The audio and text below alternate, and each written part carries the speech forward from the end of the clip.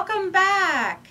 I'm Loretta from Hayes Sewing Machine Company here in Wilmington, Delaware. And this is going to be the next in our creative uh, techniques videos. So what we're going to do today is I'm going to show you an easy way of creating a binding by flipping your backing over. And one of the reasons why you might want to do this technique uh, number one, it's fast. So if you're trying to finish up those unfinished projects, really good way of doing it. Um, the other thing is that you can create a binding of any size. So if you would like a bigger, bolder binding, this is a terrific way of doing it. And I'm going to show you how to miter a corner and make a beautiful mitered corner with no math because Loretta is not the math girl. So let's start out with uh, taking a look at our quilt. So this quilt is actually one of my COVID quilts.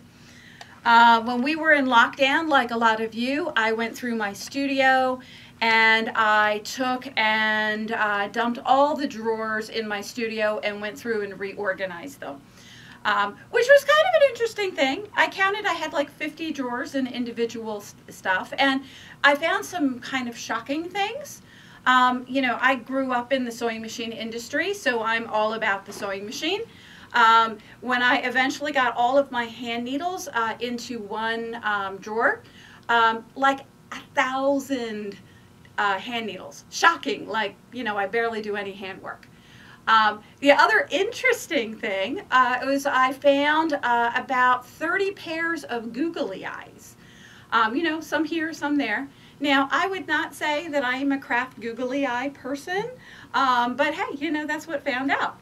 So the other thing that I found in my turfing drawers is I found a tremendous number of what I would refer to as orphan blocks. So that's where these blocks came from.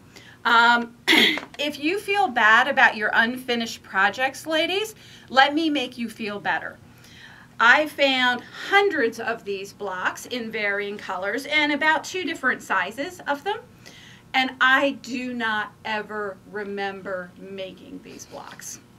So I have a drawer now that has just all of my, you know, blocks that are waiting to be finished. And all I did for this quilt is I picked out some ones that I thought were kind of interesting. Um, I found in my stash uh, a gray uh, fabric kind of print. Uh, I simply measured this block and cut appropriate blocks to that. And, you know, when I went to do the borders, uh, I'll tell you this because you can understand this. Uh, I didn't have enough of the light gray fabric. So I went and I found another gray fabric. So that's our secret. You know, if it looks okay, guys, it, if, it, if it looks like it was planned, you can go ahead and do anything you would like. There's no rules to quilting on here. So all I did is I went ahead and I sewed them in rows. Uh, when I quilted it, I simply quilted it on the diagonal in the gray. Uh, just did a quick kind of walking foot uh, quilting technique there. So this is what your quilt is going to be looking like when you are ready to start your binding. So if you look down on this edge, uh, you're going to have your leftover batting and you're going to have your leftover backing. So the first thing that you're going to do is we're going to take and we're going to trim the batting even to the surface of the quilt. So we're going to come in and this is one of those things that we need to do carefully not quickly. This is a quick binding technique, but this is not the step to be quick about. And really the only place that you kind of want to pay attention, if you have quilted from edge to edge, so on mine, I've got, like I started here on the edge and then I went across and I stopped on the edge on the other side. So this is where your scissors will sometimes get hooked up in your backing and you might nick your backing. So that's where you want to pay a lot of attention. I kind of put my fingers underneath the batting so I'm sure I'm not cutting that backing piece. And you'll notice that I'll slow down when I get to those quilting intersections so that I'm absolutely sure that I'm not going to nick the backing. And if you know that this is what you're going to do, if you're like, oh, I'm going to try that technique on my quilt, but I haven't quilted it yet, just a little tip Um, when we do edge-to-edge quilting and we do a standard binding where we are taking an extra piece of fabric and binding it with that, we tend to drift off into the batting because we're going to cut that off and the, the binding is going to cover it. Whenever you're doing this technique, you really want to start right on the edge of the fabric and stop right on the edge of the fabric. If we drift off, we do have a tendency to have to seam ripper that little piece and we don't want to have to seam ripper if we don't need to. So we're going to go along and we're going to trim all the way around so your quilt is going to have no batting showing and you're going to be looking at your backing piece of fabric. So at this point, you need to decide how big uh, binding we're going to do. And what I do is I usually will audition it. So I'll fold up my fabric, just kind of roll it, and I'll kind of check it out. Um, I can take a look. That's about a one inch binding. If I fold it a little bit more, that's like three quarters. I could audition it and maybe come and do a two inch binding. So you just want to kind of check it out. The only math to this binding is that you need double the amount of fabric of what you want to have finished. So in other words, if you want a one inch binding, which is what I'm going to do today, you need to have two inches of fabric all the way around the quilt. So if you're short on one side, so let's say you only have an inch and a half of fabric on that side, that's going to determine that, okay, we're going to do a three quarter inch binding because half of three uh, half of uh, an inch and a half is three quarters.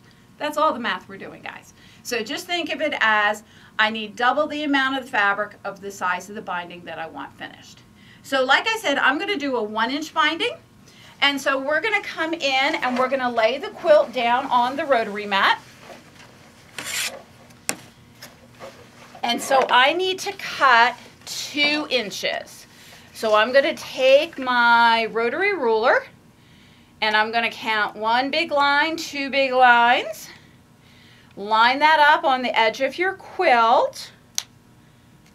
And then we're going to go ahead and we're going to trim off the extra fabric. So we'll move that along, just shift the quilt a little bit, relay everything back out.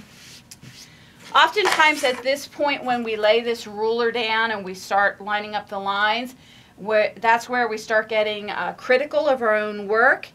If your edge of your quilt is not perfectly straight, this is not a big deal. You just go ahead, you want to make certain that you're getting two inches of fabric all the way around. So if that means that you need to tilt your ruler a little bit, that's totally fine. The goal is two inches of fabric. We don't want to line up like just straight on this crooked edge and have like two inches and then one and three quarters and two inches. Just two inches all the way around. And if you have to tip your ruler to make that happen, you go ahead and do. So we'll go ahead and we'll do the last side of the quilt here. So we'll snug that in. Line up our line.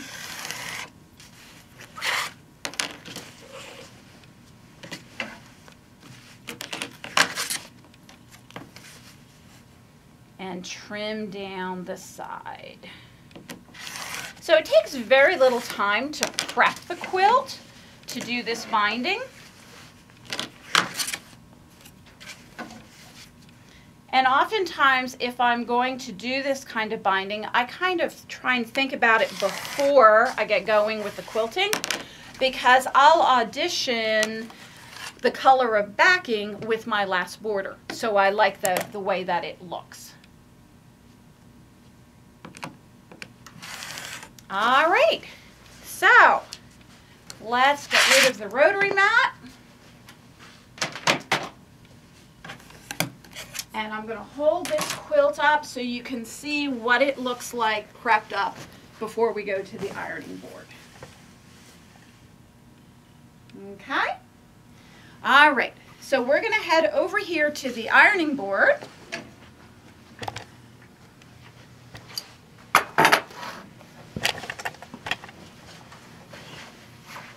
And we're going to start with the corners because everybody knows the mitered corners are the scary thing, so we're going to get those out of the way.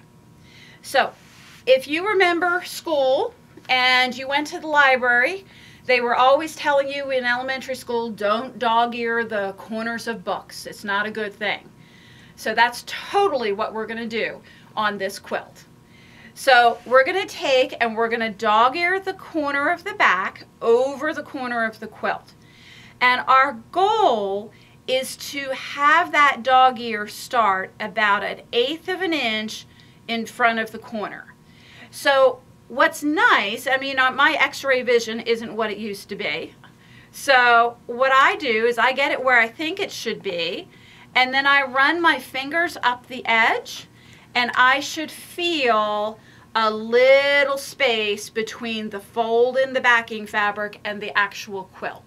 Because of the batting that we have in between, you'll feel that edge really easily. So we want to go ahead and we want to take a look at it. We would like both sides of the dog ear to be approximately the same size. Now ladies, I do not get a ruler out and measure this. I simply go ahead and eyeball it. This would not be what we want. So if we come like this, where one side is considerably shorter than the other, but if we come in and we line up and we just take a look at it, should look pretty much the same. At that point, we're gonna come in and we're gonna give it a nice hard press. You can check it at this point and open it up and you'll see that crease line and we want that crease line to be an eighth of an inch away from the corner of the quilt. So if you've got that, go ahead and flip that back down. You're going to go ahead and do this on all four corners of the quilt. So you dog ear everything at once. Once the dog ears are done, you're then going to take and you're going to press the side of the quilt. So we're going to take the raw edge that we just cut over here at the rotary cutter station and we're going to take the raw edge and line it up with the cut edge of our quilt where we cut the batting. So once again, we want it to be like this. We don't want it to be like a little boop, nor do we want it to go way over the top of the quilt. We want it to literally just touch. And so we'll go ahead and we'll press that down all the way to the corner and you'll press the entire side and then we'll come over here and we'll press the same on the other side and you will do this on all four sides. So we are almost ready to go back to the sewing machine. But before we leave the ironing board, we want to audition and check our corners to make sure that our corners are exactly what we want. So what we're going to do is we're going to fold the corner over on one side and we're going to fold the corner over on the other side. Now, our goal is to have those two edges touching without having to do this. So you see if I push them to touch, do you see how the corner sticks up and says, oh, this is not right. So uh, I usually find uh, Murphy's Law in my life uh, is pretty big. And so I find that usually one corner is going to be like this, which is what I refer to as a blunt corner. And I want to show you how to correct that because that's what most people do when they're doing this technique. They're like, mm, I don't like this, I'll just cut it off and do a regular binding. So it's a super simple thing. If you get a blunt corner, you're going to open it back up and you're going to dog ear slightly further off of the corner. So I'm not really doing a quarter of an inch off the corner. I'm just doing a little bit more than an eighth. When we go to press this, I don't know if you can see it in the camera, but this was the original crease from my corner. So you can see we gained some fabric and that should make it so that our fabric edges are to touch. So let's go ahead and flip this back over again. And that is what we want. So I'm going to hit it with the iron so that we can get that nice and flat. And then Pam, can you scoot inch on those? And that's what we want. We just want it to touch. We want these two edges to line up. And we're going to take it and um, we're going to deal with this little piece at the end here. All right. Now, you're going to do that on all four corners. Once you have those four corners done, you're going to grab a marking pen and you're going to take and you're going to mark right along the edge of your binding. So I just made a little mark and here's the amazing thing. Your corners are, you know, you'll get the edges lined up. They'll look perfect. I bet that every four, every corner is going to have a slightly different shape, which is the reason why we don't pre-trim it. Uh, we just trim it for each corner. So we make our mark and then you're going to take your scissor and you're going to cut about an eighth of an inch to the inside of the mark. By doing that, what we're doing is we're making sure that there are going to be no raw edges showing when we're looking it out on the right side. We can't see anything of that little dog ear. All right, so at this point, you're gonna go ahead and take your clips or your pins and you're gonna pin your binding all the way around.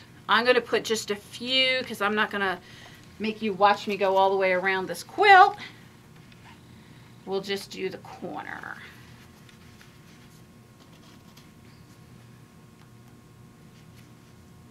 All right, so we will pretend that I went all the way around and we're gonna go ahead and land over at the sewing machine.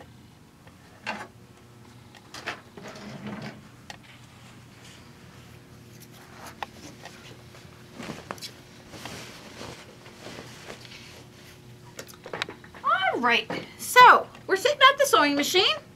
We do want to have either a dual feed or a walking foot on the machine. Anytime you're stitching through batting, you're going to have a much better time of it if you're doing it with your, um, uh, your walking foot or your dual feed.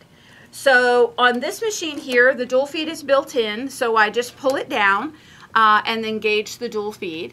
If you're putting a walking foot on, usually you're unscrewing your entire presser foot, not just the little button on the back to press the sole off and you're going to take that foot off and you're going to put your walking foot on.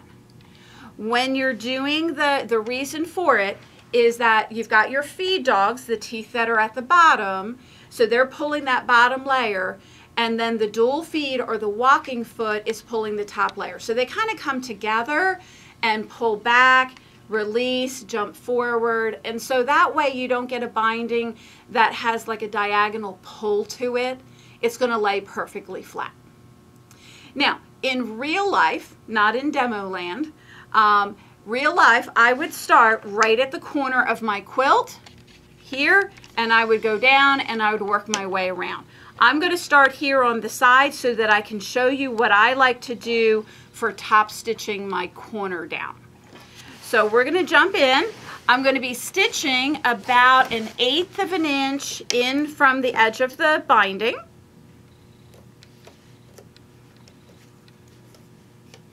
And what I do is I use kind of the inside edge of my toe as a guide.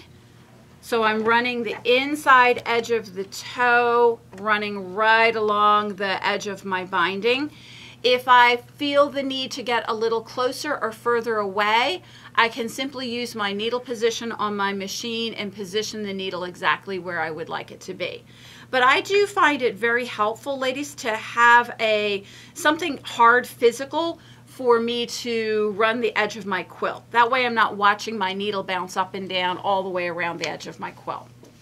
So we're going to go ahead and get started. So we'll stitch along. I usually am running at about three in stitch length uh, because I am going through batting and I like that kind of top stitched look. So we're going to come along and we're heading up to our corner. When I get about an eighth of an inch from the corner, I'm going to stop with my needle down. So there's two approaches to this corner. I could go and go all the way to the corner and then just turn and pivot. And then I could come back later on and hand whip this uh, miter which is perfectly legal to do, but we've already discussed I don't do a lot of hand work. Um, so what I like to do is give it a top stitched appearance. So I come an eighth of an inch before the, the actual miter itself. I sink my needle, I raise my foot, and I turn the quilt. We'll try and get this position so you can see it in the camera. And so I'm now running right along the edge of my miter, once again about an eighth of an inch from the edge of the miter. So we're going to stitch it. And I'm going to go until I get close to the corner but not right on top. Sink my needle back down, raise my foot, and I'm going to turn my quilt at a 90 degree again.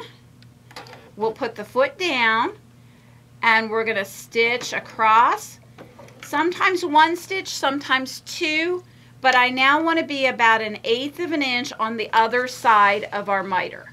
So we'll then pick up the foot, we'll turn it around again, put the foot back down, and I'm just going to take with a pin or a uh, seam ripper or a stiletto I'm going to come and hold those miters together and I'm going to stitch down about an eighth of an inch to the end again. I just want to lift this foot to check to make sure I'm, eh, I think maybe one more stitch.